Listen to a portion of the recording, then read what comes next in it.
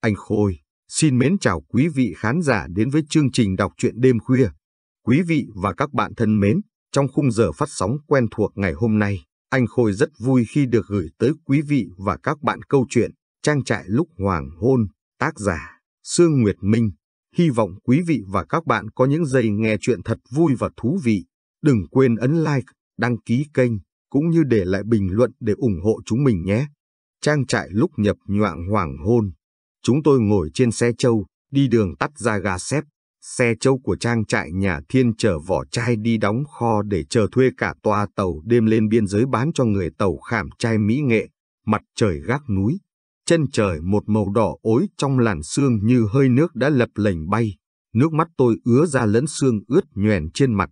Lộc cộc, lộc cộc, tiếng bánh xe trâu lăn trên đường đất đá thúc giục, gấp gáp. Thiên không nói gì, cũng như tôi hình như anh đang nghĩ về hành động của mình. Tôi không biết việc ra đi của mình có đúng không, tôi chỉ thấy cần phải đi, đi thật xa. Cha tôi về đến gốc đa làng thì trăng đã lên khỏi ngọn tre cỡ ba con xào. Lúc ấy, ở lò sấy vỏ chai trong trang trại nhà Thiên, tôi bất ngờ nghe ông Trương Thẹo bảo Thiên, ngày này, tháng này, đúng hẹn rồi, không biết cha con la, con làn có về không? Cha chúng nó mà về là động làng nghe chưa? Thiên nói, xin cha quên việc đó đi, mày ngu lắm con ạ, quên thế nào được, con cũng xin cha tối nay đừng bắt cô La cùng đi ăn tiếp ông Lý, ông Kim người Đài Loan nữa. Cô La là em ruột làn, bạn gái con. Ơ cái thằng này, bao giờ mày mới sáng mắt ra được? Mới giao dịch vài hôm, ông Lý đã mến nó, nó tự nguyện làm công việc ấy chứ tao có ép đâu. Tao đã làm gì nên tội với nó nào? Trước lúc lên xe ô tô đi ăn với ông Lý, ông Kim khách hàng mua hạt sen, vỏ chai, ông Thẹo còn đe thiên, đã bảo nhiều lần rồi, tao cấm mày không được răng hoa với con làn, nhà mình mâm son, nhà nó đũa mốc, không môn đăng hộ đối. Hình như ông Trương Thẹo biết tôi đang ở đó, ông Cốt nói to cho tôi nghe, tự ái, mặc cảm và đau đớn bị xúc phạm, tôi đã khóc và lặng lẽ bỏ ra về. Thiên biết, anh chạy theo, thanh minh, xin lỗi, rất tội nghiệp, rất chân thành. Sự chân thành và tình yêu của Thiên khiến tôi khuây khỏa phần nào, nhưng sự tức giận thì vẫn chưa thể nguôi ngoai. Cha tôi về đến chùa cháy, chùa cháy im lìm trong đêm cuối hạ, trời đang bằng bạc sáng, bỗng dưng tối nhờ nhợ, và bất chợt tiếng gõ trống, mõ, nồi niêu, tiếng phèn la, tiếng chuông lẫn tiếng ếch nhái, tiếng côn trùng, tiếng người kêu náo loạn, gấu ăn trăng rồi. Cha tôi thảng thốt trong lòng, cha không ngờ sau hơn 10 năm bươn trải, kiếm sống trở về lại đúng lúc gấu ăn trăng, ăn trăng giữa mùa nước lụt. Ngày bà nội còn sống, thấy mặt trăng đang bị nuốt, bà ngửa mặt lên trời than thở. Không mất mùa thì cũng quan ôn bắt lính thôi, con ạ. Rồi bà dục cha tôi lấy mâm đồng ra gõ. Ấy là, cha tôi kể lại chứ ngày đó tôi chưa ở trong bụng mẹ, còn đang ở đầu đâu làm sao biết được. Màn tối nhờ nhợ đã hết hẳn, trăng lộ ra khuyết một góc vẫn một màu ối đỏ. Gió lặng, lá im, cây đa cổ thụ đứng trầm mặc đổ bóng đen thấm xuống mặt đất, thỉnh thoảng một vài quả đa chín rơi lộp bộp, mấy con chim kiếm ăn muộn giật mình kêu thẳng thốt thả tiếng vào không trung yên lặng, chốc chốc lại một con nhái bén thấy động nhảy sọp xuống ruộng đang trắng nước. Cha tôi bước trên đường bê tông làng mới làm, dấu vết con đường xưa lát nghiêng viên gạch mất hết, nhà mái bằng chen lẫn nhà mái ngói quay mặt ra đường trông chẳng khác dãy phố phố làng dài tun hút tiếng hát ỉ eo lẫn tiếng nhạc sập sình ở mấy quán ăn cứ như là thi nhau mở hết cỡ. Hai cái hiệu làm đầu, ba quán hát karaoke, hơn 20 quán tạp hóa, rồi quán lòng lợn tiết canh, quán bánh cuốn nóng giò trà, bóng điện đỏ quạch răng răng thành hàng dọc hai bên đường làm ánh trăng quê cũng trở thành thừa thãi, vô duyên. Cha bắt gặp một bóng người cà giật cà giật và tót lên cành cây. Cha không biết đấy là thằng rơi con út ông thẹo Thằng rơi hơn 10 tuổi chưa biết nói, thấy bóng người là kêu, tiếng kêu khẹt, khẹt. Một chân thằng rơi thọt nhưng đôi tay dài như vượn leo trèo trên cây thoăn thoắt. Có hôm rơi trèo lên cây ngay hồi nhà rình bắt chim lợn, rồi chim không bắt lại ngủ ngay ở trà cây. Nửa đêm sương lạnh, mò về ngồi ở đầu hẻ nghe chim lợn rúc. Người ta bảo rơi là quả báo, ông Trương Thẹo đang gánh chịu. Mẹ thiên thương con, xót phận, buồn chán bỏ bê công việc của trang trại suốt ngày đi lễ, rồi mẹ thiên xin ở hẳn trong chùa cháy đánh chuông, quét lá, ăn chay niệm Phật. Cha không nhận ra nhà của mình, Cây ổi vẫn còn nhưng căn nhà tồi tàn có cái cối giã gạo ở thềm hè biến mất, thay vào đó là một ngôi nhà bốn tầng. Trên sân thượng ngất ngường một cái tum uốn hình tháp tròn kiểu Ấn Độ, trong ánh đèn lòe nhòe. Cha tôi nhận ra ngôi nhà lạ hoắc xây rất vô lối, Tây chẳng ra Tây, Tàu trả ra Tàu, và tấm biển cong, trang trại nhà đại thịnh nghễu nghện ngự trên vòm cổng. Cái nhà trên chín gian lợp ngói cổ thì vẫn như cũ nhưng đóng cửa im ỉm tối mò, hình như không có người ở. Vậy thì cái nhà ngang cha đã từng ở và ba gia đình bần cố ở chín gian nhà trên kia chuyển đi đâu hả rời. Lúc ấy, cha đã nghĩ và thốt lên trong lòng như vậy. Một đàn chó to như những con bê mới lớn đánh hơi thấy người lạ lao vút ra. Có tiếng léo nhéo và người trong nhà chạy ra cổng. Một người đàn ông lạ hoắc đứng ở trong cánh cổng sắt lúi húi mở khóa. Cha lại thấy cái dáng cả giật cả giật của thằng bé với mấy con chim sẻ trên tay. Thằng bé lách vào cổng, đâm bổ vào người đàn ông. Ông ta chú chéo, rời ơi là rời. Ông nhà biết cậu trèo cây là ông giết tôi. Nỗi lo sợ hốt hoảng của người đàn ông chẳng làm thằng bé động lòng. Cha tôi cất tiếng trước, bác cho tôi hỏi, cái nhà bên gốc cây ổi kia bây giờ chuyển về đâu? Cuối làng, chuyển lâu chưa bác? Lâu rồi, ông Thẹo mua lại từ năm kia cơ. Một cái xe u oát gì gì tiến vào cổng, đèn chiếu sáng trưng. Cha tôi lóa mắt, luống cuống chụp vội cái mũ phớt đen lên đầu và đứng giặt sang bên. Đứa con gái mặc váy ngắn lại làm nhảm nói tiếng Tây bồi. Rõ ràng là nó đang say rượu. Cha nhìn qua ô cửa xe thấy nó đang gục đầu vào ngực người đàn ông tóc muối tiêu người đoài loan. Cha không hề biết nó chính là đứa con gái máu thịt của mình. Và cha cũng chợt nhận ra người đàn ông nhỏ thó, mặt chuột ngồi ở ghế trên là ông Trương Thẹo. Cha tôi bàng hoàng, tối tăm mặt mũi. Ông Trương Thẹo cũng ngang tuổi cha tôi. Trong ký ức mù mờ của cha, ông ta là thằng bé lặng lẽ, ít nói, hàng dâm bụt xanh tốt như đường biên đã ngăn cái sân rộng thanh thang ra một góc cho nhà Trương Thẹo. Phần sân còn lại thuộc quyền sở hữu của các gia đình bần cố. Ba hộ nghèo khổ nhất làng được chia ở trọn vẹn chín gian nhà trên dài ràng rặc, nhà làm bằng gỗ lim, mái lập ngói vẩy cá cổ kính, rêu phong xanh từng đám, chính là cái nơi ăn ở, thờ tự, tiếp khách của lão Trương Thịnh.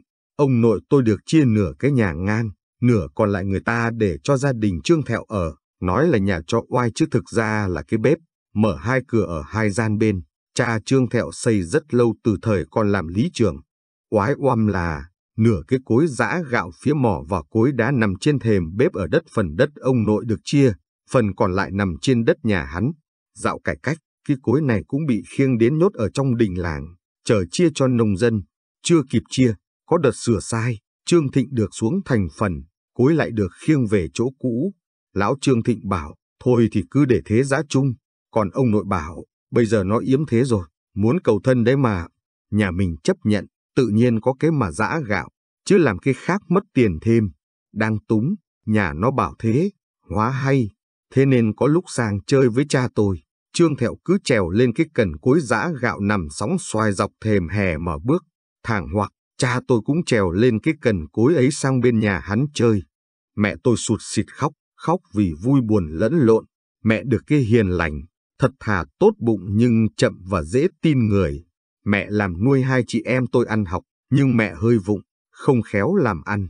Cha tôi thì đi biệt, thỉnh thoảng có người về nước chẳng thư từ gì, chỉ gửi vài ba cái bàn là mấy cái ấm điện, trăm dây mai so bếp điện không đáng mấy tiền nên ở nhà nghèo vẫn hoàn nghèo. Dạo mẹ tôi bán nhà, làng rộn dịch tranh nhau đấu thầu ao chuông, ruộng lầy làm trang trại bán nhà buổi sáng, mẹ chuyển đi buổi chiều thì buổi tối cha con lão Trương Thịnh khiêng cần cối giã gạo vứt ra hồi nhà rồi hì hục đào. Không biết nếp tẻ thế nào, chỉ thấy dân làng đồn âm lên rằng cha con lão đào vàng giấu dưới đít cái cối giã gạo, vàng giấu từ hồi nào hồi nào chẳng ai biết. Chả thế mà người ta đem lúa sát thành gạo vừa trắng vừa nhanh, đỡ nhọc người, còn lão cứ bắt con cháu nhà lão thì thụp giã gạo bằng chân, thì ra lão Thịnh giấu vàng từ hồi lão còn là địa chủ. Đến khi cải cách, ông nội được chia đúng nửa cái nhà ngang có chỗ giấu vàng ấy nên lão nằm im chờ thời. Bọn trẻ con còn kháo nhau trông thấy vàng vàng chóe và lão Thịnh nói khào khào, đến thời cha con ta rồi thẹo ơi, thủ ơi. Thế rồi lão Thịnh là người bên đống đất mới đào. Sáng hôm sau đã thấy tiếng con cháu kêu khóc, lão chết lúc nào trong đêm cũng chẳng ai hay. chôn Lão Thịnh xong, mấy ngày sau lại nghe người ta kháo, Lão Thịnh còn dặn con trai bằng mọi cách lấy lại chín gian nhà trên và phải thể trước mặt Lão, thì Lão mới chịu nhắm mắt. Nhà tôi bên hàng rào dâm bụt nhà Lão Thịnh, tôi cũng thấy Lão và ông thẹo đào cối đá giã gạo, nhưng lấy vàng lúc nào thì không nhìn được. Chuyện ấy thực hư thế nào không rõ, nhưng chỉ một tháng sau thấy ông Trương Thẹo nhảy ra làm một chân đấu thầu mấy chục mẫu ruộng sâu, ao chuông hoang hóa. Ông ta trúng thầu bởi bỏ thầu cao nhất, rồi đến lúc cả chín gian nhà trên, nửa cái nhà ngang ông Trương Thẹo mua lại xong xuôi thì dân làng mới ngã ngửa người ra là đất thổ cư ngày xưa của cha con ông ấy bị chia cho bần cố nông, bây giờ đâu lại về đấy. Cứ đà này ông Trương Thẹo mua hết đất làng Yên Hạ. Chú San, chú Sần là em ruột cha tôi. Chú Sần tính nhỏ nhặt, hay chấp vặt, ai ở trong làng khá giả là chú ghét, ai hơn là chú không vừa lòng. Ban đêm chú đặt ống trúm lươn, ban ngày làm nghề đánh xe trâu. Xưa ao côi đầm còn bỏ hoang, ruộng lầy yên vân còn hoang hóa, chú Sần đặt ống trúm đêm, sáng ra thím Sần bưng cả rổ lươn đi chợ bút bán. Từ ngày ông Trương Thẹo đấu thầu nuôi cá, thả sen, chú Sần mất chỗ làm ăn. Đôi lần chú cứ liều đặt trúm, ông Trương Thẹo sai bảo nông vớt lấy dao trẻ nhỏ ra làm đóm hút thuốc lào. Chuyện thủ oán ngày xưa ông cha truyền lại cộng với chuyện bây giờ mất nơi đặt ống trúm, chú Sần nghĩ ông Trương Thẹo cướp miếng ăn nên căm lắm. Mỗi lần đánh xe Châu đi qua cổng trang trại nhà Trương Thẹo, bao giờ chú Sần cũng dừng lại cho Châu ị một bãi mới chịu dục Châu đi tiếp. Xe u oát của ông Trương Thẹo đi thăm đồng về đánh tay cua vào cổng lăn bẹp đống phân, dính nhoe nhoét vào bánh. Một lần, hai lần không ai để ý, năm sáu lần nhà Trương Thẹo sinh nghi. Thiên bắt gặp bảo, chú Sần lần sau đừng cho Châu ị trước cổng nhà cháu. Châu y ở đường làng, chứ cổng đếch gì nhà mày, đừng có thói cậy giàu mà cấm đoán người ta nhá. Cũng may, Thiên điềm đạm, biết kiềm chế và anh đang say tôi như điếu đổ nên chỉ lắc đầu quẩy quẩy chứ gặp bố anh thì không biết chuyện gì sẽ xảy ra. Ngược lại, chú San tính tình thoáng đãng, đường hoàng, không chấp vặt, đã thích làm cái gì là làm đến cùng. Chú có chí lớn và lúc nào cũng muốn hơn người. Chú San làm trang trại sau ông Trương Thẹo một năm, cách làm của chú khác với cách làm của Trương Thẹo. Chú đến 10 nhà trong làng thuyết phục, trình bày phương hướng đấu thầu ao chuông, đồng lầy làm trang trại và vận động họ cùng góp cổ phần. Chú San nói có lý, có tình lại vận dụng cả kiến thức học tại chức ở Đại học Nông nghiệp ra thuyết phục nên họ thuận cả.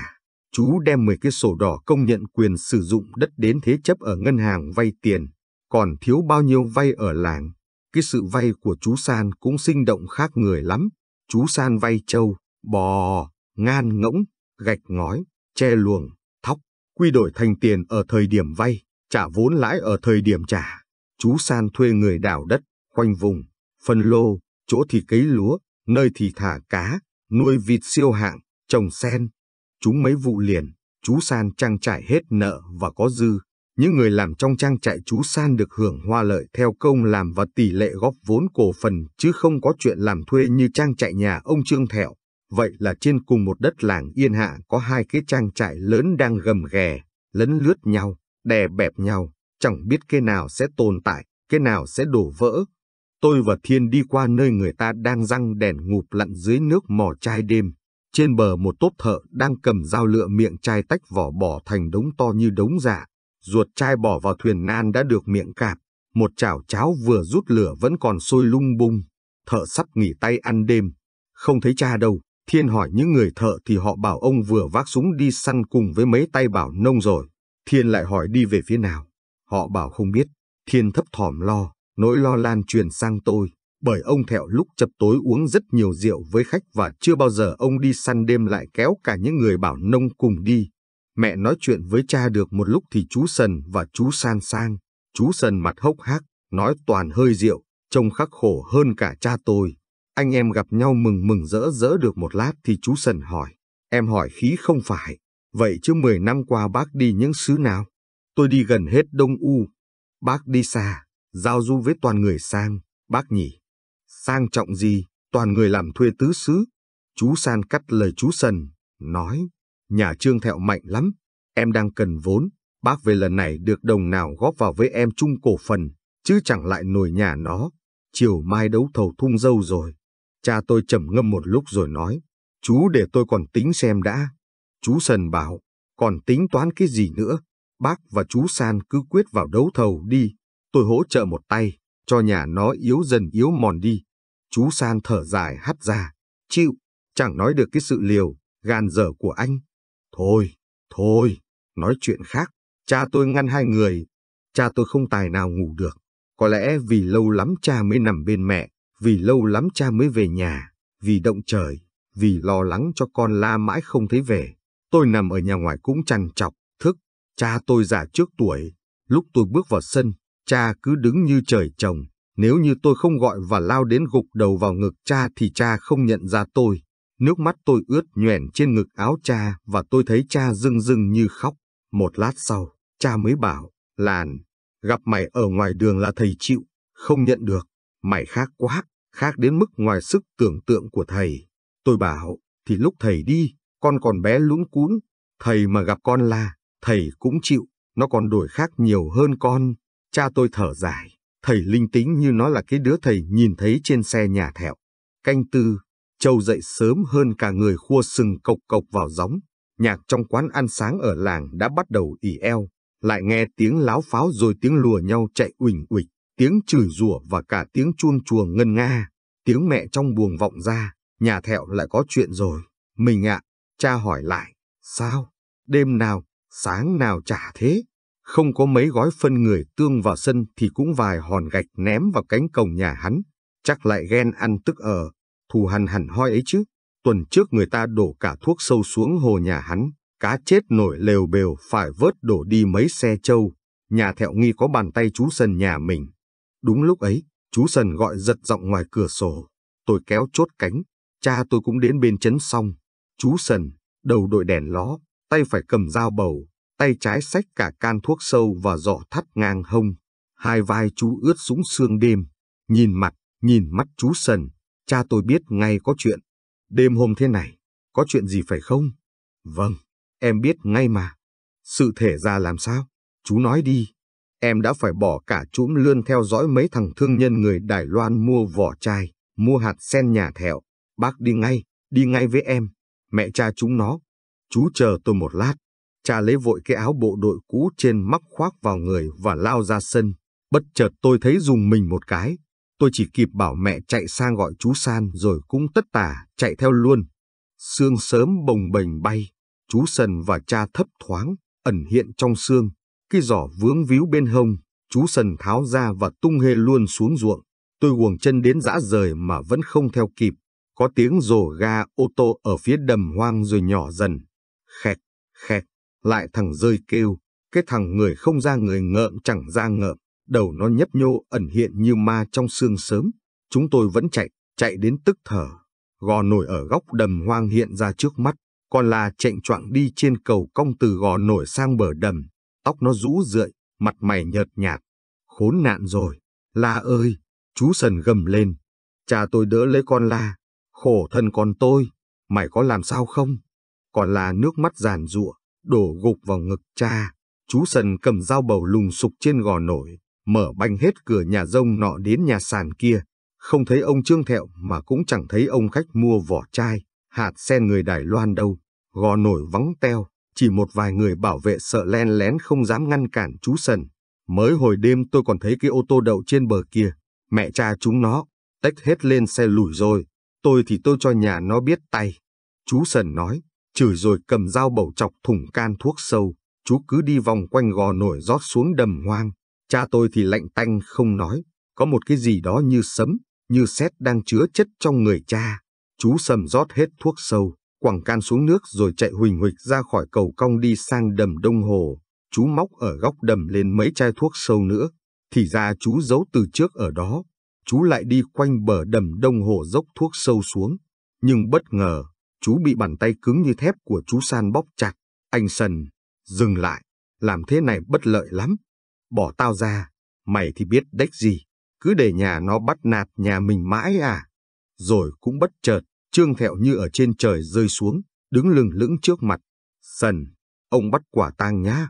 À, đây rồi, quân bóc lột, quân hại người, Trương Thẹo lăm lăm khẩu súng săn tự chế trong tay, cười gằn, cả thằng San nữa, hai chúng mày phá hoại sản xuất nhá. chuyến này ông cho tù rũ xương cả lũ.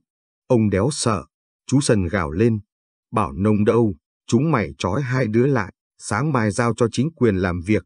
Chú San bảo, ông Thẹo đừng gắp lửa bỏ bàn tay. Chú Sần thì càng gào to, tao đố thằng nào lại đây, mẹ chúng mày vừa làm gì cháu ông, ông thì ông chém. Chú Sần hăng quá, cầm dao bầu sông tới, Trương Thẹo lùi dần, lùi dần, khẩu súng săn vẫn cứ nhăm nhăm, rồi khẩu súng săn hình như cướp cò đoàng, đoàng. Hai viên đạn bay khỏi nòng khẩu súng săn, chú Sần đổ sùm người xuống đầm.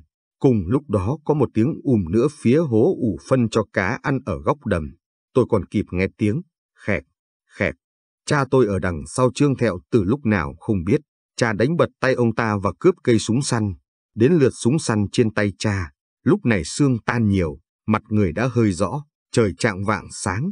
Trương thẹo chố mắt nhìn cha, nhìn con gái rũ rượi tơi tả vẫn đang thút thít khóc. Cha nghiến răng gí súng thẳng vào ngực ông ta. Trương thẹo nhắm mắt lại, im lặng, một sự im lặng đến giận người.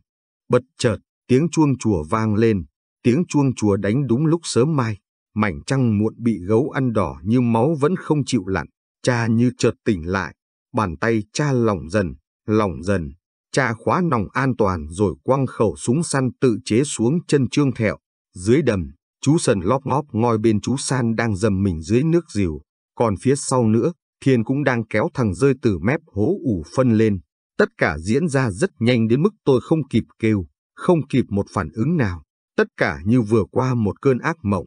Chú Sần không trúng đạn, nhưng thằng rơi bị một viên đạn lạc xuyên qua cái đùi thọt, lại tiếng kêu, khẹt, khẹt, gấp gáp của thằng rơi như cật nứa cứa vào lòng người. Hoàng hôn đang mở dần, tôi cầm thừng thay Thiên đánh xe châu. Thiên đặt mảnh giấy lên gối tỉ tay viết nguệch ngoạc, thầy, thầy sẽ đau lòng khi người con trai đủ trí khôn nhất của thầy bỏ nhà ra đi, còn không chịu được những việc làm của người lớn, còn muốn sự ra đi này sẽ chấm dứt ngay mọi sự xung đột của hai nhà, bởi đi cùng con là Làn, Làn là con của gia đình mà bố đang ngày đêm hậm hực thù hận, chúng con chỉ bồng cháu về cho ông bà nội, ngoại khi mọi chuyện đã yên lành. Thiên tạc vào chùa cháy đưa lá thư cho mẹ anh, Thiên bảo, đường cùng anh mới phải làm thế, và anh muốn mẹ chưa thành chính quả, mẹ anh nên về với cha, về để giúp cha. Có thể lúc này cha anh cần mẹ anh hơn bất cứ lúc nào hết.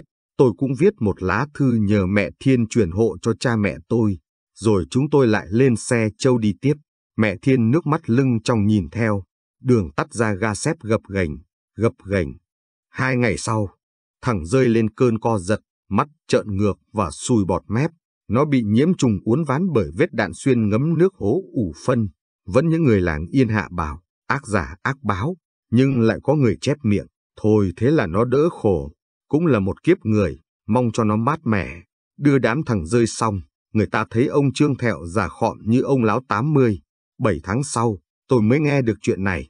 Người ta còn kể, chiều chiều, ông lão Trương Thẹo lặng lẽ đi một mình trong trang trại, mắt nhìn chăm chăm về phía ga xếp. Tôi bảo Thiên, em muốn về nhà. Thiên lặng im, hai mắt dần dấn nước.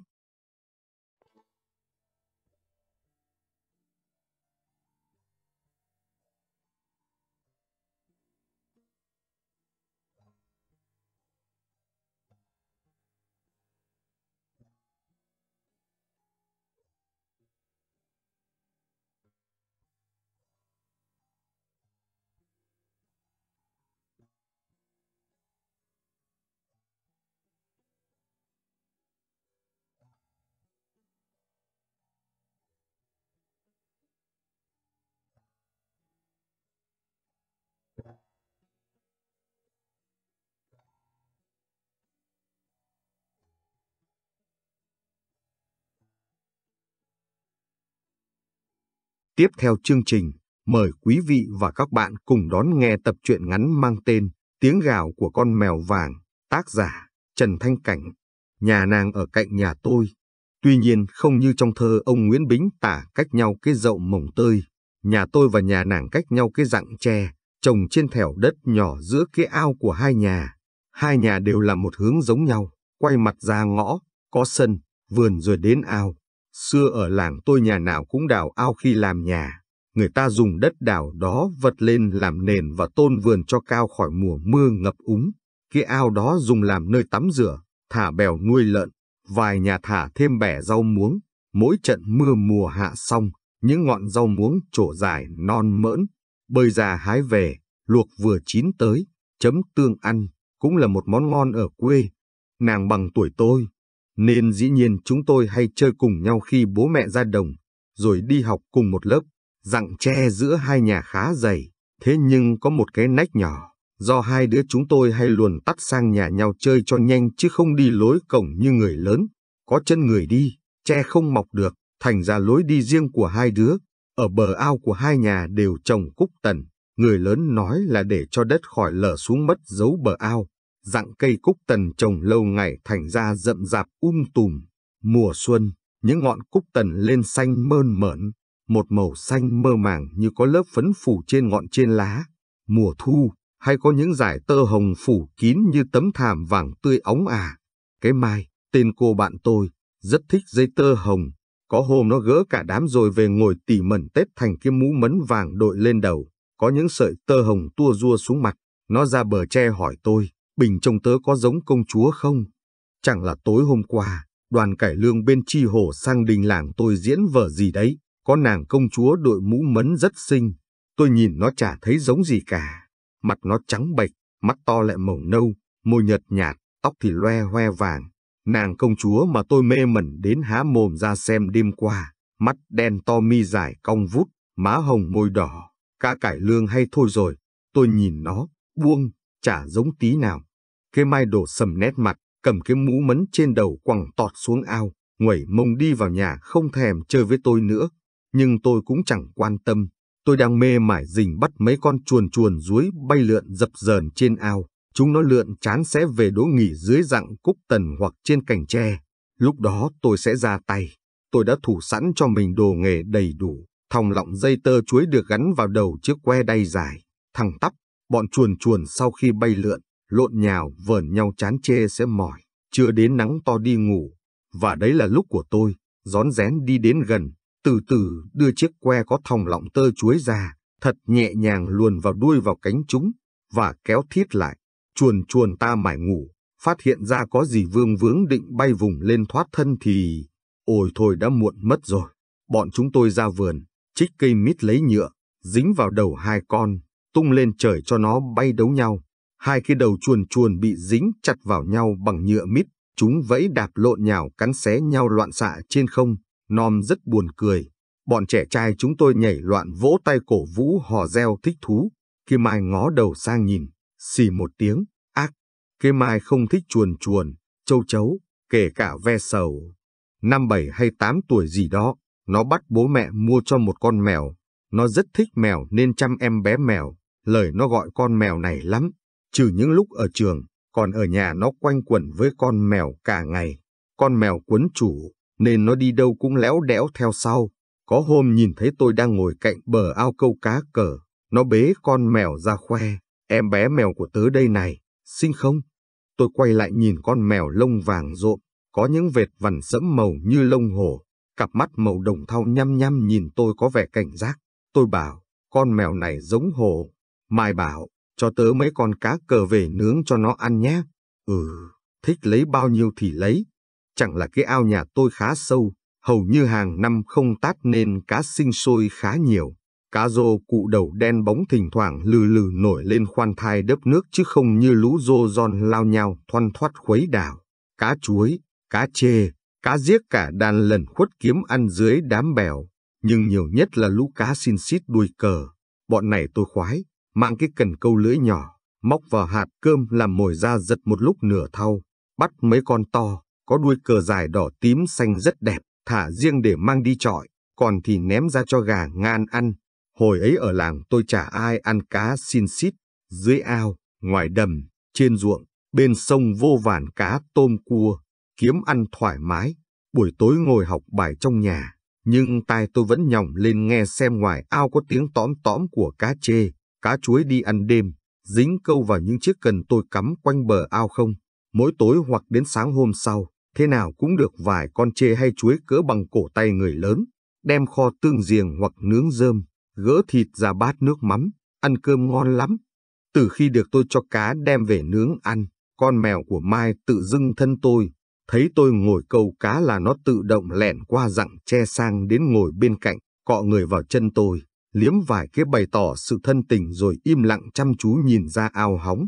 Mai ở nhà không thấy em bé mèo đâu, sang nói, em bé mèo của tớ nó rất kén người chơi, mà nó lại có vẻ thân cậu nhỉ.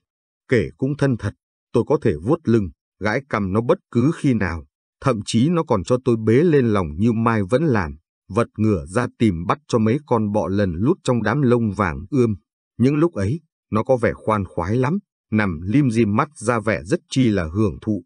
Mai kể, nó là một con mèo cực khó tính, càng lớn càng khó tính.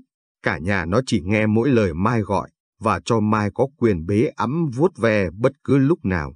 Người khác, kể cả bố Mai nếu nó đang nằm ở trang kỳ bận ngủ, đưa tay vuốt lưng mà nó cảm thấy phiền, là giơ tay tát thẳng cánh. Có lần chú Vũ, bố Mai bị nó tát đau, cáu, lấy cái chổi đập cho một trận, mèo ta chạy mất vía nhưng vẫn không bỏ cái lối ấy. Con mèo này còn bị một trận kinh thiên động địa nữa kia.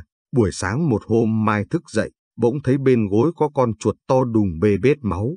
Mai nhảy dựng lên hét thất thanh vang khắp nhà. Chú Vũ chạy vào buồng, thấy ông mèo vàng đang ngồi ngắm con chuột chết có vẻ ung dung tự hào lắm. Chú túm gáy, sách lên, cho mấy vả. Mèo ta gào thảm thiết, cong đuôi chạy ra vườn nấp kỹ. Đến bữa cũng không về ăn cơm, mãi phải ra gọi dỗ mãi, lại sang nhà tôi xin mấy con xin xít về nướng thơm lừng. Mãi đến tối đói quá cậu chàng mới về ăn vậy. Mai bảo, thì ra con mèo nó coi tớ là bạn thân, nên đêm nó đi bắt chuột để chén, còn mang về cho một con. Chắc nó nghĩ mình cũng là mèo. Thì cậu làm mèo ma, tôi đùa. Mai lườm tôi một cái, không thèm nói gì, quay người đi vào nhà, kệ tôi đứng chơ vơ bên rặng tre. Tôi nhìn theo Mai trong lòng bỗng có cái gì đó nhen lên khó tả. Năm ấy chúng tôi vừa vào học cấp 3, bắt đầu lớn. Vẫn chung một trường nhưng khác lớp, tôi thấy trong người có những thay đổi rất lạ lùng. Cô bạn hàng xóm của tôi còn thay đổi nhiều hơn nữa kia. Mái tóc xưa khô sơ xác bỗng trở nên óng mượt, đôi mắt nâu dưới hàng mi dài long lanh ngơ ngác, má lúc nào mơ hồ hồng, môi đỏ thắm. Mỗi khi Mai cười hàm răng đều tăm tóc như tỏa ra một thứ ánh sáng diệu kỳ. Mai gọi tôi ra dặng tre hỏi cách giải một bài toán. Tôi bảo cho rồi nói, buổi chiều mình chỉ học ở nhà, hay là Mai sang làm bài tập cùng nhé? Ừ, để mình xin bố. Khi Mai xoay người đi vào nhà, tôi nhìn với theo, chợt thấy Mai giống như nàng công chúa trong vở cải lương năm nào, dáng đi uyển chuyển như múa, cái eo, cái mông tròn nhỏ chuyển động nhịp nhàng như có sóng nhẹ. Tôi nuốt khan nước bọt, chạy nhanh về nhà, lên giường, đắp chăn vớ cuốn chuyện đọc để cho quên cái cảm giác bức bách khó hiểu tự dưng rừng rực dâng lên trong người. Tôi mở đại một trang, lại đúng chỗ tay nhà văn khốn kiếp tả cảnh làm tình trai gái. Tôi quẳng sách, chùm chăn kín đầu, khép chặt đùi, hạ thể căng nhức nóng rẫy. Trong đầu tràn ngập hình ảnh cặp mông tròn xinh dập dờn của Mai. Tôi xoay người nằm sấp, thở dốc, trong vô thức ép chặt thân hình xuống chiếu. Hình như có gì đó chạy dâm gian trong người, dễ chịu. Tôi hoang mang vùng dậy chạy ra cầu ao nhà, rồi nước lạnh ảo ảo. Con mèo vàng của Mai đã nuôi được gần chục năm.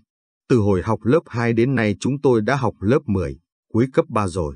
Từ một em bé mèo nho nhỏ xinh xinh, nay nó đã thành một quý ông mèo đĩnh đạc đàng hoàng, mắt to màu đồng nghiêm nghị, lông vàng rực mượt mà nổi bật với những cái vằn sẫm màu, đuôi dài, đi đứng khoan thai uyển chuyển. Ai nhìn thấy nó cũng bảo, hồ chứ không phải là mèo, thì hồ với mèo chả cùng một họ đó sao? Mai vẫn quý con mèo này lắm, nhưng không bế ẵm nó như ngày xưa nữa. Mai chỉ thỉnh thoảng vuốt lưng hay gãi cầm cho nó, và cho ngủ cùng mùa lạnh. Cái việc trải lông hay tắm rửa phải chú Vũ bố Mai mới làm được. Nó rất sợ chú, vì chú giữ đòn. Nó chót làm gì láo như đuổi gà, con hay ăn vụng là bị một trận trổi tối tăm mặt mũi ngay. Nên mỗi lần chú Vũ lôi ra xử lý, nó chỉ lầu nhầu ra điều không thích nhưng không dám kháng cự. Con mèo vàng dạo này vẫn hay sang nhà tôi như trước. Nó vốn đã coi nhà tôi như nhà nó kể từ bé. Khi được tôi câu cá nướng cho ăn, nó ra vào điềm nhiên ra vào, thích nằm chơi đâu là nằm đấy. Có nó qua lại, nhà tôi cũng vắng lũ chuột quậy phá. Như đã kể, khi lên cấp 3, bọn tôi học hai lớp khác nhau.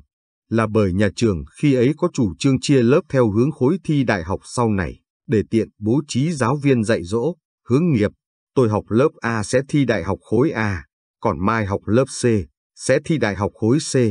Mai cũng như số đông bọn con gái, khá yếu ba môn toán, lý, hóa nên buổi chiều thường sang nhà tôi hỏi bài những môn này. Chúng tôi ngồi trên hai chiếc ghế đầu cạnh cái bàn gỗ kê bên cửa sổ, nhìn ra sân. Kể từ sau cái buổi chùm chăn đọc sách, tôi tự cảm thấy mình đã trở thành một chàng trai, và cũng tự biết mình đã yêu Mai. Mỗi khi ngồi học cùng, thỉnh thoảng quay sang ngắm hoặc liếc trộm, thậm chí là giả vờ lấy sách vở thước bút gì đó để được chạm vào tay vào người Mai, thì một thằng trai 17 tuổi đang rừng rực khát khao, ngồi cạnh một cô bạn gái xinh như mộng, má cứ hồng lên trong căn nhà vắng, hỏi sao tôi có thể kiềm lòng cho nổi. Có lúc tôi giả vờ bảo, tóc cậu có rác dính vào này, rồi đưa tay vuốt mái tóc óng ả ngang lưng của Mai. Hình như Mai cũng thích tôi, nên để yên cho tôi vuốt tóc. Con mèo vàng sang cùng với Mai đã nhảy tót lên cái giường ngay sau lưng chúng tôi nằm ngủ thở khụt khịt. Hồi ấy nhà tôi cũng như hầu hết mọi nhà trong làng, chăn đắp mùa đông chẳng đủ ấm cho kỳ rét đậm, nên bố tôi thường hay trải ổ rơm nằm cho ấm. Đến mùa gặt tháng 10, ông chọn ít rơm nếp, rũ ký bó chặt rồi quẳng lên nóc nhà phơi khô.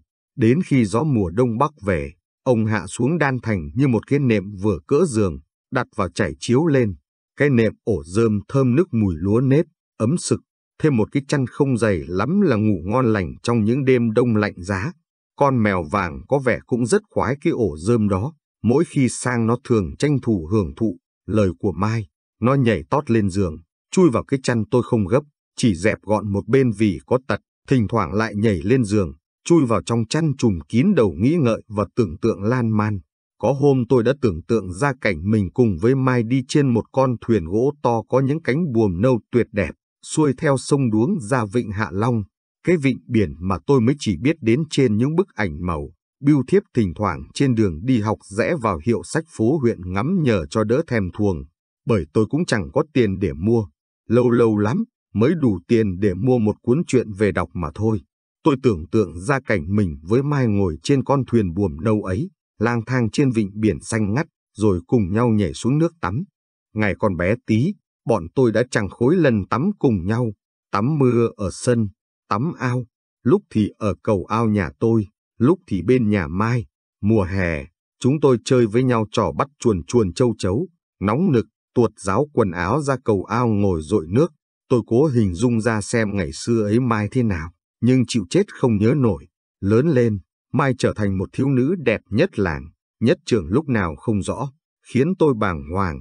Và trong tôi, một thằng trai mới lớn khi ấy bỗng nảy ra một cái ý nghĩ điên rồ là được nhìn thấy những bộ phận của con gái trên thân thể Mai ngày xưa teo đét bé tí, này nó nở nang đẹp đẽ ra sao. Tôi âm thầm ủ mưu, quyết phải dình xem Mai tắm mới được, bởi đã từ lâu rồi bọn tôi không tắm cùng nhau, đứa nào tắm ở cầu ao nhà đứa ấy, Tôi thì tắm ban ngày, bất kể khi nào thấy nóng, còn Mai chắc tắm ban đêm. Đàn bà con gái làng tôi thời ấy chiều đến còn hay ra đầm sen cạnh làng tắm nữa kia, tắm trần. Chuyện này tôi đã kể nhiều lần không nói nữa. Tôi khát khao muốn được nhìn ngược Mai, xem có to đẹp như của bọn con gái trong làng vẫn vô tư khoe buổi chiều bên đầm sen. Bởi hình như từ khi lớn, Mai chỉ tắm ở ao nhà chứ không đi tắm cùng chúng bạn ở đầm. Và tôi để ý thấy, cứ sau bữa cơm tối độ nửa tiếng là Mai sẽ đi tắm.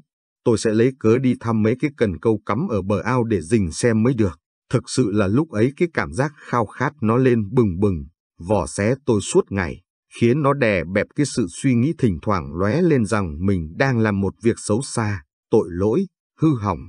Một tối mùa hè, trăng sáng, tôi canh đợi gần đến lúc Mai đi tắm như thường lệ, đứng dậy giải lao rời bàn học đi ra vườn, Bố mẹ tôi nằm nghỉ ở giường bên sau một ngày ra đồng làm việc vất vả cũng chẳng hỏi han hay để ý gì, bởi biết tôi hàng tối vẫn hay lần mò cắm câu, đánh đó kiếm thức ăn cho cả nhà. Những tối thứ bảy hay chủ nhật ít bài vở, tôi còn đi cất vó tôm ngoài đầm hay bên sông nữa kia. Tôi âm thầm ra ngồi thu lu sau rặng tre như con mèo rình chuột, nín thở nghé mắt nhìn sang, mai cắp rổ quần áo, để trên chạc bà, rồi cầm cái thau đồng nhỏ, ra ngồi trên cầu ao, quay mặt thẳng vào phía dặng tre tôi ngồi, tuột áo ra, tôi choáng váng. Trong ánh trăng, cặp vú non tơ của Mai mới chỉ to gần bằng cái bát ăn cơm úp ngược thây lẩy trên ngực. Trăng hôm ấy sáng quá, chiếu thẳng vào khiến cho tôi tưởng như ngực Mai là một khối bạch ngọc.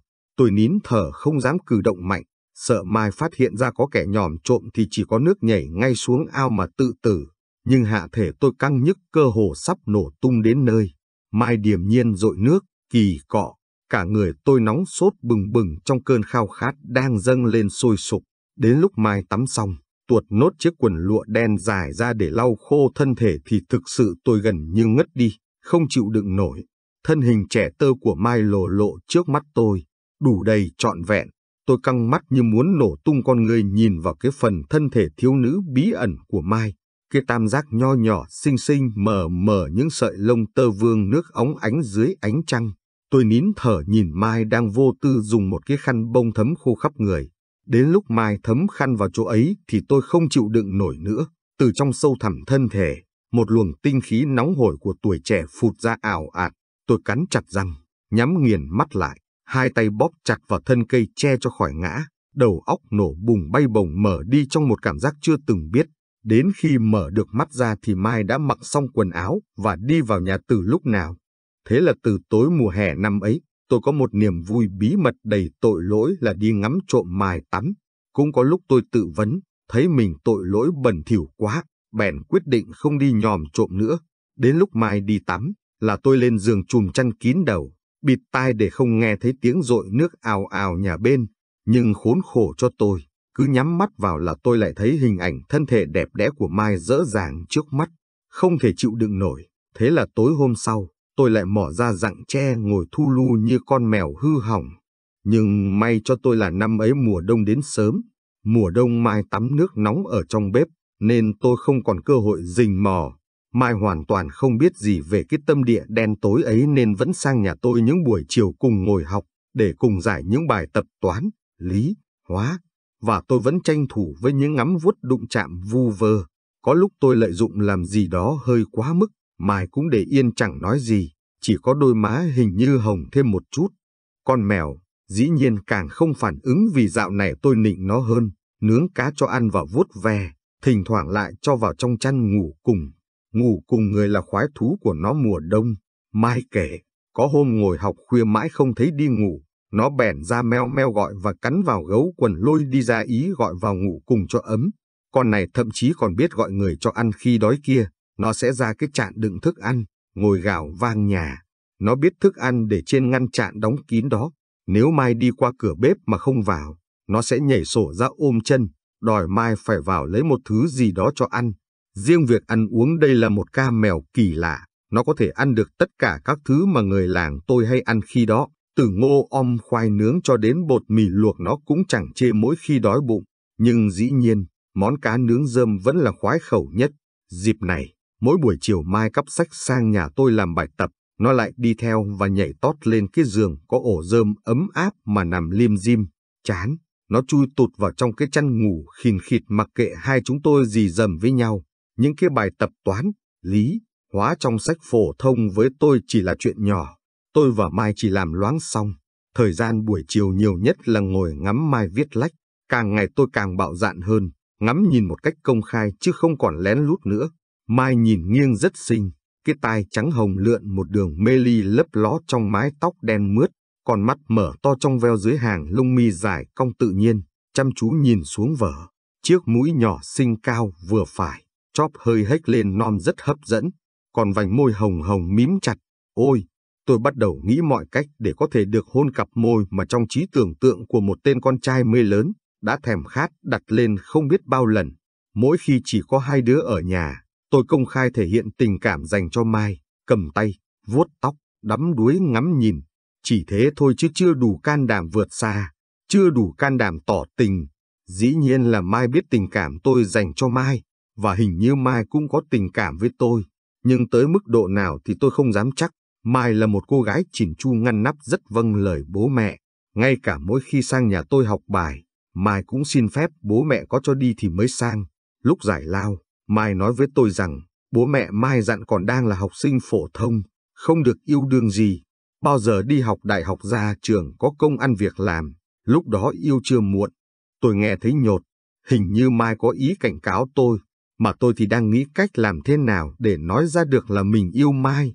Bởi trong lớp, trong trường có rất nhiều thằng thích Mai, có thằng bô bô nói ra mồm kia, nghe Mai nói vậy, cái ý chí tỏ tình với Mai của tôi nhụt đi đôi phần, nhưng mỗi buổi chiều ngồi học bài riêng cùng nhau, nhìn ngắm khuôn mặt xinh xắn, dáng người nhỏ nhắn thon thả của Mai trong lòng tôi lại sôi sục khát khao cực độ. Khi ấy tôi cảm thấy vô cùng khó hiểu với chính bản thân mình, bởi tôi vừa thầm yêu Mai đến mức tôn thờ, không dám làm gì trái ý. Mỗi ý muốn của Mai nói ra là tôi sẽ làm bằng được. Ví như có hôm trời khá rét, Mai chỉ nói vu vơ là tầm này củ sen rất ngọt. Chiều ấy học xong tôi lặng lặng ra đầm sen cạnh làng, lội xuống làn nước lạnh cống, hì hục đào bằng được một mớ củ sen trắng muốt non mỡn rửa sạch đem về. Tôi ra dặng tre gọi đưa cho Mai. Mai nhìn mớ củ sen, nhìn tôi cười xinh ơi là xinh, hàm răng nhỏ trắng đều tăm tắp tỏa ra ánh sáng mơ màng trong buổi chiều hôm. Tôi mê mẩn nhìn Mai, nghĩ mình đời này sẽ yêu Mai mãi mãi, nâng niu và chiều chuộng. Nhưng rất nhiều buổi đêm khuya học xong lên giường ngủ, tôi chỉ nghĩ đến việc được ôm ấp Mai, được thỏa mãn vỏ xé và quần thảo những hoa lá ngọc ngà của Mai cho tan tành mây gió. Tôi thèm muốn điên cuồng được chiếm hữu thân thể Mai, bởi những gì đã biết sau khi nhòm trộm hồi hè đã ám chặt trong đầu tôi. Tôi liên tục phải thủ dâm, không thì phát điên mất, nhưng mỗi lần xong, tôi lại thấy mình hèn mạt đê tiện, trống rỗng và kém cỏi, không xứng đáng với Mai. Mâu thuẫn, đó là trạng thái bất thường của tôi khi ấy. Tôi vừa yêu Mai lại vừa khinh bỉ bản thân, tôi không hiểu nổi mình nữa. Than ôi, khi đó tôi mới 17 tuổi, cái tuổi đang sục sôi căng tràn nhựa sống lúc nào cũng chỉ trực trào dâng bung phá. Chẳng ai từ thầy cô giáo cho đến các bậc phụ huynh hay có một cuốn sách nào đó dạy cho chúng tôi biết về những vấn đề của lứa tuổi này, rằng đó chỉ là những khao khát, bức xúc tự nhiên của tuổi mới lớn và cái cách để chế ngự nó. Mãi sau này, khi đã trưởng thành, đã trải đời và đọc nhiều sách vở, tôi mới thấy những cái mâu thuẫn, bức xúc thời đầu đời kia cũng là chuyện thường mà thôi. Nó chỉ là những bức xúc tâm lý tuổi dậy thì vượt qua được thời kỳ nhạy cảm đó sẽ an toàn trưởng thành. Nhưng nếu vương vào một cái gì đó, rất có thể cuộc đời sẽ rẽ theo một hướng bi kịch. Một buổi chiều mai lại sang nhà tôi làm bài tập.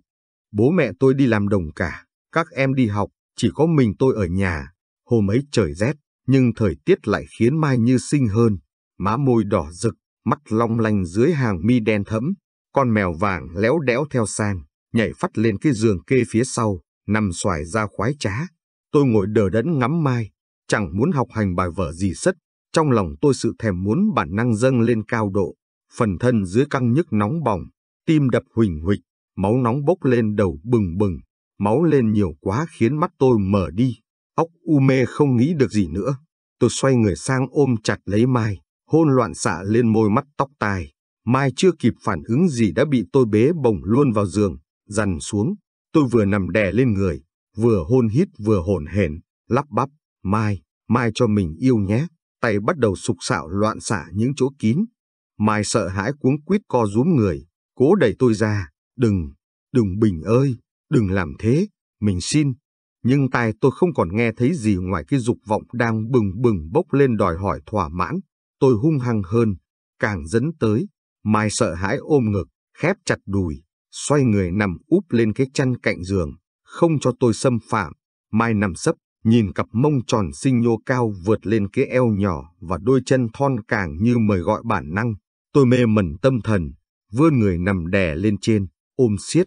Phần thân thể đàn ông của tôi căng nhức trong quần, cứ thế tôi rúi rụi vào mai, vô thức dập mạnh. Bỗng một tiếng ngào, vang lên thống thiết lừng lẫy cả không gian tĩnh lặng của buổi chiều làng quê. Thì ra con mèo vàng đã chui vào trong chăn ngủ tự khi nào. Nó bị sức nặng của cả hai chúng tôi đẻ lên. Đau! Nó gắng gượng quấy đạp chui khỏi chăn và gào lên một tiếng váng động xung quanh. Nó gào to đến nỗi, chú Vũ bố Mai đang ngồi đan lờ ngoài sân phải buông tay chạy ra dạng che quát sang. Chúng mày làm cái trò gì với con mèo đấy? Tôi vội vàng buông ra. Mai vùng dậy vuốt tóc tai quần áo rồi cắp sách, chạy thẳng về bên nhà. Đêm đó tôi không ngủ được. Tôi thấy nhục nhã vô cùng. Tôi tự xỉ và mình không biết bao lần. Đê tiện, bẩn thỉu, xấu xa, hồ thẹn muốn chết đi cho rồi. Mấy hôm sau đó tôi không dám đi học cùng Mai, đi thật sớm và chui vào ngồi tụt trong lớp. cũng không dám cả ra sân chơi sợ nhìn thấy Mai. Thỉnh thoảng vô tình chạm mặt ở ngõ, Mai mặt lạnh, tỉnh bơ không nhìn khiến cho tôi càng hãi, càng không dám đến gần hay sang nhà để xin lỗi. Tôi vùi đầu vào sách vở và những bài tập toán, lý, hóa để cố quên cái sự khinh bỉ bản thân.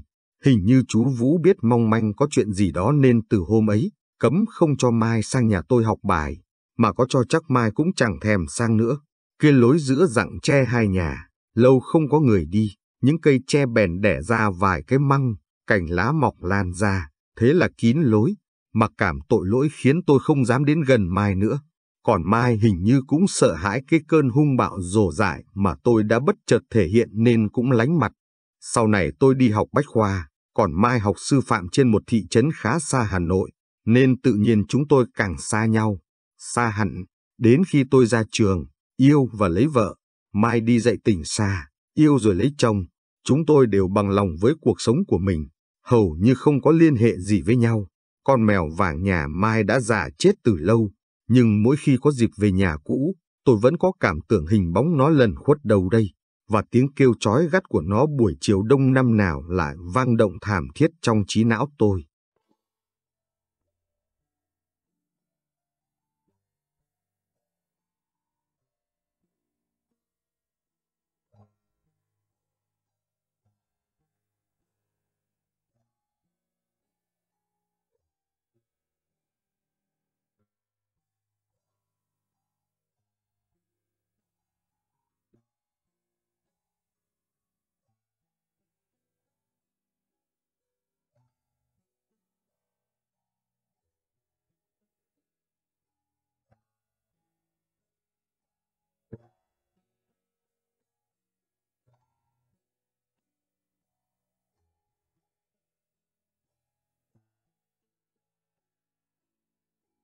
Tiếp theo chương trình, mời quý vị và các bạn cùng đón nghe tập truyện ngắn mang tên Tình yêu Facebook của tác giả Trương Thành Sơn.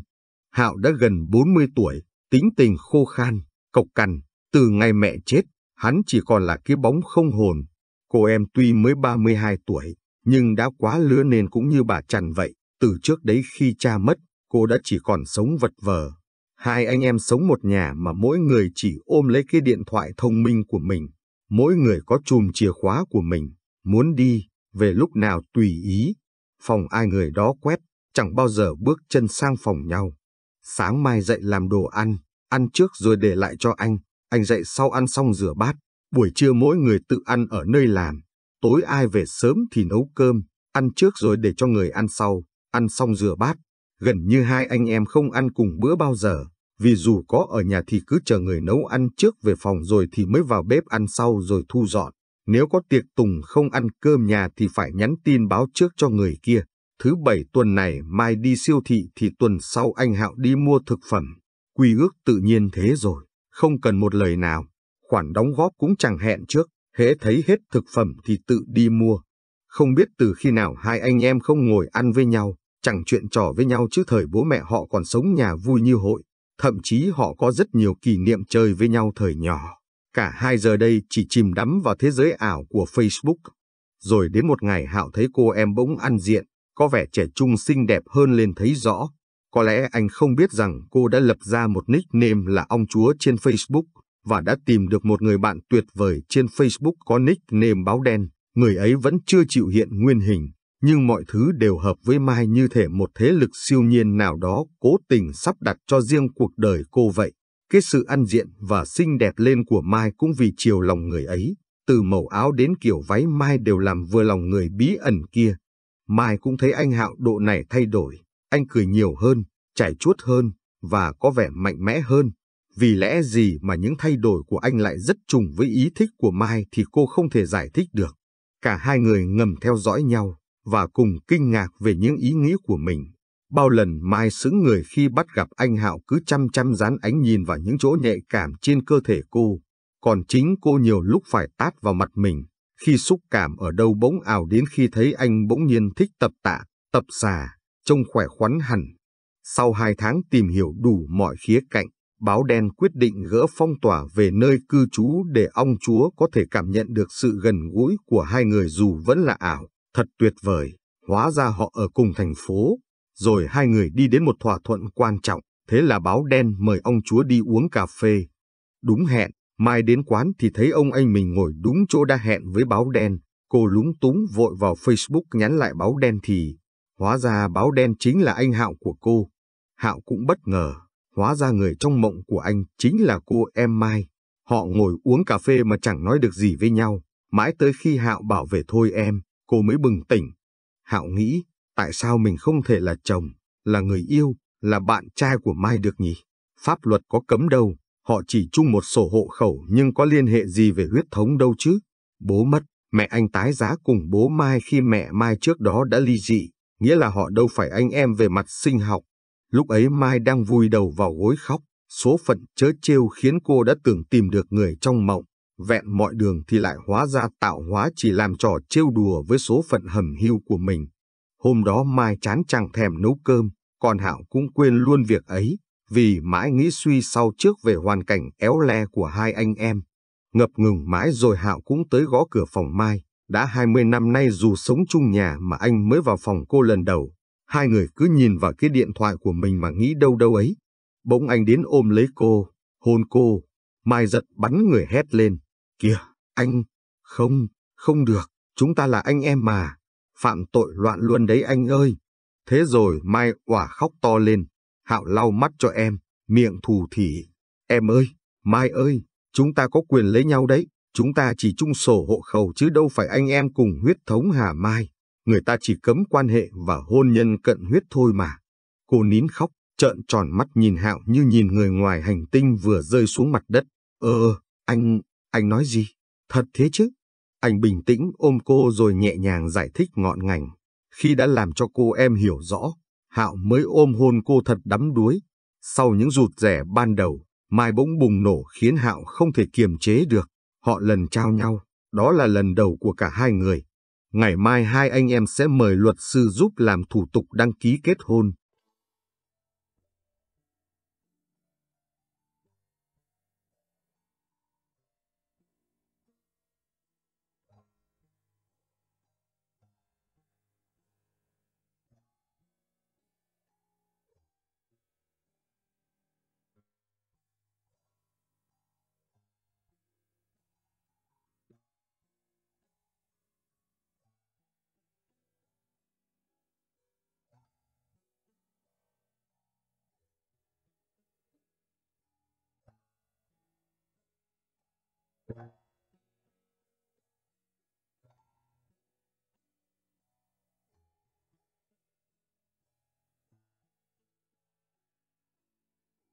Tiếp theo chương trình, mời quý vị và các bạn cùng đón nghe tập truyện ngắn mang tên Tiếng hú của sói, tác giả Nguyễn Thị Ngọc Hà.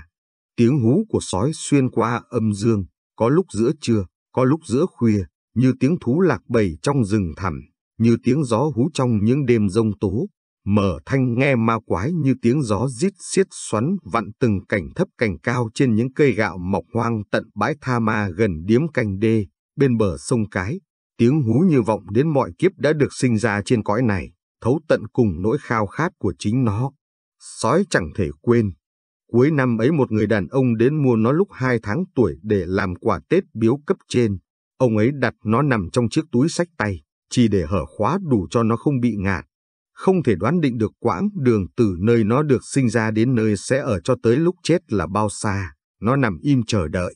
Lúc cửa xe mở tiếng chủ tiếng khách thân thiện chào nhau, nó mới ló đầu ra ngoài lén mắt nhìn, trộm thấy cấp trên của người mua nó làm quà, cao mập chán hói tóc thưa, da mặt nhẵn nhụi, với bề ngoài phồn thực trong bộ pyjama kẻ sọc màu xanh nhạt, chủ nhà cũng chẳng đặc biệt hơn những người đàn ông ở quãng tuổi ấy, ngoài đôi mắt sắc lạnh là khác hẳn mọi người. Nó lại lén nhìn lần nữa, qua ánh mắt giao tiếp nó thấy rõ giữa chủ và khách vẫn có ranh giới rõ ràng. Uống vơi tuần nước, chủ nhà mới nâng nó lên xoay trái xoay phải ngắm nghía. Con chó đẹp thật. Vâng, đây là con chó đầu đàn. Bố mẹ nó xuất xứ tại Đức và đều là F1. Tuy em có đôi chút kinh nghiệm chọn chó, nhưng với giống chó này em vẫn phải nhờ anh bạn có chuyên môn chọn giúp đây ạ. Đây anh xem, con này mông cao, thân trường, bụng thon, đuôi dài buông thẳng chấm đất, ức nở vàng rực màu lửa. Bốn chân đã to chắc khỏe không khuỳnh lại có huyền đề nữa. Riêng bộ đầu của nó thì miễn chê anh ạ. Mặt của nó hầm hố mà không tối, mõm vuông tai dậy, hai mắt giả trên đôi trong mắt thật. Chó bốn mắt là loại tinh anh, nhưng tuyệt nhất vẫn là cái trầm ở trên đỉnh đầu nó. Mới hai tháng tuổi mà đã sở thấy trầm, trầm của chó càng to chỉ số thông minh càng cao. Trong thế giới động vật, khuyển mã là hai loại thông minh và trung thành với chủ nuôi nhất anh ạ. Em tin, anh sẽ hoàn toàn hài lòng vì món quà Tết của em. Chủ vừa đáp lời khách, vừa cười mãn nguyện. Anh cảm ơn về món quà này của chú. Nhìn chủ và khách hì hà tạm biệt nhau, nó càng yên tâm tin cậy về nơi ở này. Hình như vẫn hoài nghi những lời tán dương của người tặng nó cho mình. Ngay ngày hôm sau ông chủ cùng trợ lý đem nó đến trường nuôi dạy chó nghiệp vụ, nhờ giám định lại nguồn gốc và chỉ số thông minh của nó. Chẳng biết tại đấy họ đánh giá thế nào mà trên đường về ông chủ nhìn nó tỏ ra đắc ý lắm. Từ hôm ấy nó được đặt tên là sói. Được cả nhà chăm chút, nên sói cũng bớt nhớ mẹ nhớ đàn. Bà chủ và cậu chủ thường gọi bằng giọng chiều mến.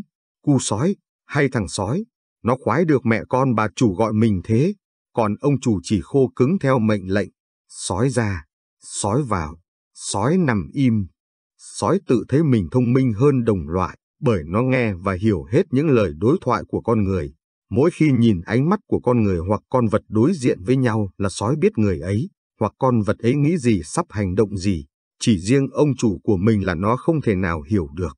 Ông vẫn hào sảng nhưng ít khi sói thấy ông nói cười quá độ, kể cả lúc tay bắt mặt mừng với ai đó. Nhiều lần các cộng sự đến nhà, có người ân cần vồn vã, có người bỗ bã làm thân, có người su nịnh thớ lợ, thậm chí có người cái vã đấu khẩu đến độ dơ nắm đấm trước ông. Sói vẫn thấy đôi mắt chủ của mình không tỏ ra hoan hỉ hay tức giận. Đã hơn 6 tháng từ ngày là thành viên trong ngôi biệt thự này, hôm ấy nó mới thấy người đàn ông có đôi tròng mắt nâu đen trở lại. Ra ngoài ô tô, người ấy xách chiếc vali đựng tài liệu cao thành, hoặc từng bước khoan thai qua sân vào phòng khách. Sói vẫy xoắn đuôi mừng quính hít hà hơi quen cũ, cứ ngỡ người đã mua nó đến làm quà Tết vừa rồi phải được ông chủ vồn vã lắm. Nhưng sau khi đôi mắt sắc lạnh cùng tiếng quát của ông hướng về nó, sói hiểu mình không được phép cuồng nhiệt như thế. Nó đành cúp đuôi lùi lại nhưng vẫn đủ khoảng cách đối diện với chủ và khách. Sau vài câu thăm hỏi sức khỏe cụ chủ, trên bàn vẫn chưa cạn ấm trà. Khách nâng chiếc vali nhẹ tay đặt lên bàn bấm số, mở nắp xoay về phía chủ. Em biết anh mê loại thuốc lá này nên biếu mấy tút để anh dùng dần. Không tỏ thái độ, ông chủ của nó chỉ nói, xếp kín vali thế này đâu phải mấy tút, chú tính đốt phổi tôi dần ư, tôi nhận một tút còn lại chú mang về đi. Vừa nói ông chủ vừa lấy ra một tút thuốc, do sơ ý để sát mép bàn, tút thuốc căng nặng hơn bình thường lại không gài nắp nên khi rơi xuống bật tung vỏ ngoài. Sói nhồm lên nhìn lại nằm xuống ngay, bởi tràn ra nền nhà không phải thuốc lá. Sói nhớ lại lần ấy, cậu chủ vừa đưa sói hít hà tờ tiền ông chủ cho vừa nói với nó, đây là đô la, sói ngửi mùi này rồi tìm chỗ ông giấu lấy cho cậu mấy tờ nhé. Sói muốn nghe lời cậu chủ nhưng bố của cậu đã bỏ trong két sắt nên nó không thể. Những thếp tiền dưới nền nhà đã được xếp lên bàn. Sói thấy da mặt ông chủ dần dần đỏ, thoát màu da lại trở về bình thường. Ông gằn giọng, chú lại thế rồi. Hôm trước tại phòng làm việc tôi đã nói chú đừng đến gặp tôi nữa. Thời điểm này rất nhạy cảm, việc khác tôi có thể giúp, nhưng việc này chú đừng đẩy tôi vào thế khó. Các đơn vị muốn có dự án đều phải qua đấu thầu, đơn vị nào chuẩn bị hồ sơ chặt chẽ hợp lý nhất sẽ trúng. Không thể khác. Em biết thế, nhưng anh là chủ dự án, mong anh giúp một số quân xanh khi bỏ phiếu thầu như năm ngoái đã giúp đơn vị T. Liếc xéo sang ông chủ, sói vẫn thấy đôi mắt của ông sắc lạnh cùng từng lời mình nói. Chưa lần nào dự thầu nhưng chắc chú đã biết rất rõ, trên tôi còn có lãnh đạo bộ, thanh tra ngành, quanh tôi còn có công an kinh tế, rồi các đơn vị dự thầu khác sẽ soi mói tìm ra dấu hiệu không bình thường. Rất quý cậu, nhưng tôi không giúp được đâu. Khách ghé gần vai chủ nói nhỏ hơn, như thể ngoài sói còn có người khác nghe được. Em luôn tin anh có thể giúp được đơn vị em. Ông chủ của sói đập mạnh tay xuống bàn, nhìn thẳng vào mắt khách sẵn giọng. Mọi sự vẫn phải đúng luật, chú đừng tự tin mà khẳng định điều gì vội. Chủ cùng khách đều im lặng, không gian phòng khách như quánh lại. Sói chỉ nghe quả lắc trong chiếc đồng hồ treo tường vọng tiếng ra đều đều. Bỗng nó nghe thấy giọng ông chủ nhẹ hẳn. Thôi, chú cứ về chuẩn bị hồ sơ xin dự thầu. phải rạch ròi mạch lạc đến từng chi tiết nhỏ nhất, từ giá đền bù giải phóng mặt bằng, giá vật liệu trôi nổi, giá nhân công, vào được vòng trong tính sau. Sói không nhìn rõ ánh mắt của hai người khi họ đi ra cổng, chỉ thấy chủ vỗ nhẹ lên vai khách trước khi khách bước lên xe. Mấy năm gần đây, không hiểu tại sao những người thường đến với ông chủ cứ thưa dần. Sau lần sách đô la tới đây, người đã mua nó làm quà Tết cũng không thấy xuất hiện nữa. Quanh nhà vắng ngắt, sói chỉ sủa vu vơ mấy con chim sẻ ngoài vườn cho đỡ tẻ. Lúc này mặt trời chưa đứng bóng, nắng đã như đổ lửa xuống cái sân gạch, tràn cả lên những bậc thềm. Hơi nóng hầm hập lùa ngược lên tất cả các tầng, chạm vào đồ vật gì cũng nóng gian. Ngoài vườn, cây đứng lặng lá rủ xuống mềm oặt, tiếng ve sầu từ dãy xấu ngoài đường vọng vào da giả, đồng loạt dâm gian, rồi lại đồng loạt tắt lặng. Sói vào nằm vật gần cửa chính nhịp thở nặng nhọc, toàn thân rệu rã mỏi nhừ. Trước khi đến trường bà chủ đã đơm cho sói một bát cơm với mấy miếng sườn diêm, nhưng nó không đụng đến. Biết mình không ốm, sói chỉ rất buồn. Cái sự buồn lại cứ nhằm lúc nhà vắng ngắt mà hiện diện, như cố tình dẫn dụ nó trở về trận đòn cũng vào ngày nắng nóng như hôm nay. Trận đòn đã qua từ lâu, mọi cơn cớ cứ âm ỉ tự buồn mãi chẳng nguôi, khiến mỗi khi nhớ lại, sói vẫn ấm ức khi không thể chia sẻ được với vợ con ông chủ. Cố quên thì cơn cớ lại bắt nó nhớ lại ngày mẹ con bà chủ về quê ngoại. Hôm ấy, đang giấc ngủ ngày, sói bỗng bật dậy bởi đánh hơi thấy xe của ông chủ sắp gần tới nhà. Nó chạy ra sát cổng rít sâu trong họng, vẫy tít đuôi mừng trước khi nhìn thấy chủ. Sói đã quen cách tài xế riêng xuống mở cửa xe cho ông, nhưng nó ngạc nhiên khi xuống xe sau ông chủ là người đàn bà trẻ. Nhìn cách ông chủ thể hiện khác bình thường, nó biết đây là khách quý nên ghé mũi sát chân nữ khách hít hà, chỉ muốn lưu giữ hơi thân quen về sau. Đấy là bản năng của giống chó săn mà thôi. Thế mà nữ khách hét thất thanh nhảy lên co cao hai chân quặp chặt lấy ông chủ. Nó ngỡ ông chủ bị tấn công nên đã ngoạm vào mông nữ khách, vừa giận dữ quát sói. Ông vừa cúi xuống kiểm tra vết thương của nữ khách. Mày quá, chỉ rách đến quần lót thôi em ạ. Ông chủ vỗ về nhẹ nhàng khi dìu nữ khách lên phòng riêng của mình rồi mới quay xuống trị tội nó. Ông cầm chiếc gậy tập quyền của con trai vụt vào mặt vào lưng sói tới tấp. Nó đã chạy trốn dưới gầm cầu thang ông vẫn chút giận lên đầu gậy hướng vào thân thể nó. Sói cãi lại bằng ngôn ngữ của chó, tiếng sủa váng nhà. Có lẽ thấy đuôi mắt nó dì máu ông mới quăng chiếc gậy ra sân. Chẳng nhẽ chỉ vì rách chiếc quần lót của người đàn bà trẻ ấy là cái tội dẫn đến cái chết này ư. Sói nghĩ mình sắp chết, bởi toàn thân nó cứ liệm dần không thể gượng dậy được nữa. Trời đã oi nóng lại lặng gió, xung quanh khu nhà yên ắng đến nỗi sói cảm nhận sự chết đang hướng về phía mình. Chợt tiếng nói dịu êm như cái đêm nó sắp phải rời xa mẹ hồi ấy, còn vẫn trong luân hồi nên chưa chết được đâu. Phải cố sống để học được những bài học về luân hồi nhân quả. Nếu ngộ ra, kiếp sau sẽ thoát được kiếp súc sinh này con ạ. Sói mở mắt ra, nó không thấy ai bên mình, mà chỉ thấy một áng mây trắng vừa bay lên giữa khoảng trời xanh ngắt. Sói vẫn chập chờn nửa mơ nửa tỉnh, đôi mắt khép hờ nửa thức nửa ngủ. Có tiếng kèn trống, tiếng khóc của bà chủ, tiếng khóc của cậu chủ, và nhiều tiếng khóc của ai, ai nữa nó không rõ hết. Tiếng khóc đan xen trong tiếng nhạc ỉ eo lê thê như kể lể dãi bày. Nó cố bật dậy đi vào phòng khách. Người đã chết nằm trong cái hộp gỗ dài màu vàng tía. Những người thân đang chia nhau từng giải vải trắng, nó nghe bà chủ nghẹn ngào nói với con mình, cho thằng sói được nhìn ông lần cuối rồi hãy để họ đóng nắp áo quan. Cậu chủ đỡ nó lên. Sói thấy đôi mắt người nằm trong hộp gỗ đã khép, da mặt bùng bạch không hồng hào khỏe mạnh như mọi ngày. Tiếng trống đánh bùm, tiếng phèn la sập xoèng đồng loạt rộ lên. Tuột khỏi tay cậu chủ sói chạy vụt ra sân. Nó cố vươn cổ chu lên một tiếng để tiến biệt một kiếp người mà không được. Cái đầu chịu nặng cứ ghim cổ nó xuống. Chợt tiếng lách cách mở khóa cổng, sói bật dậy thảng thốt. Ôi trời, vẫn là giấc mơ ngày. Lúc ấy nó mới định thần nhớ lại. Đấy là đám ma cụ chủ từ năm ngoái. Ông chủ của nó còn kia, đã chết đâu. Cậu chủ đỗ đại học là một ngày trọng đại của cả nhà. Ông bà đang đợi con trai về liên hoan thì bất chợt chuông cổng reo. Sói chưa kịp chạy ra tới nơi, ông chủ đã hấp tấp lùa nó vào trong cũi. Người đàn bà trẻ bị sói cắn rách quần lót ngày ấy lại đến. Cô ấy vẫn đẹp nhưng nét mặt lộ rõ sự mệt mỏi. Hình như cô ấy nói gì đó với ông chủ, rồi phăm phăm đi vào nhà. Ông chủ sải bước theo cố ngăn lại nhưng không thể. Người đàn bà trẻ như cơn gió đông bắc ùa vào, phòng khách bỗng toát lạnh, bước tới đối diện bà chủ của sói, nữ khách nhỏ nhẹ. Xin lỗi chị vì sự đường đột này. Hôm nay em đến để thú nhận, em đã có con với chồng chị. Không tỏ ra ngạc nhiên trước người phụ nữ trẻ hơn mình, bà chủ của sói bình thản từng lời. Tôi đã biết từ lâu, cô đừng nói thêm nữa. Không, chị phải biết thêm điều này. Anh ấy dỗ em phá thai, nếu không bỏ đứa trẻ, em buộc phải im lặng, sẽ nhận được chu cấp nuôi con. Em không đòi hỏi tiền, chỉ muốn con em có tổ tông đàng hoàng, nhưng anh ấy đã từ chối. Khi thằng bé tròn một tuổi, cả hai mẹ con em bị nhiễm Covid phải cách ly tuyệt đối. Giữa sự sống chết mong manh em vẫn hy vọng, nhưng anh ấy đã vứt mẹ con em như vứt túm rẻ bẩn. Thay cách xưng hô, nữ khách quay sang ông chủ của nó. Tôi đến để cho anh biết, thứ nhất tôi đã im lặng để anh được yên vị, thứ hai thằng bé giống anh như khuôn đúc. Đây là di ảnh của nó, cho cốt tôi gửi tại ngôi chùa này. Ông bao giờ cũng làm chủ mọi tình huống, thế mà lúc ấy ngây dại khi cầm tờ giấy xác nhận của nhà chùa. Ông cố níu người đàn bà trẻ để phân bua điều gì đó, nhưng nữ khách lạnh lùng xoay người quay ra cổng.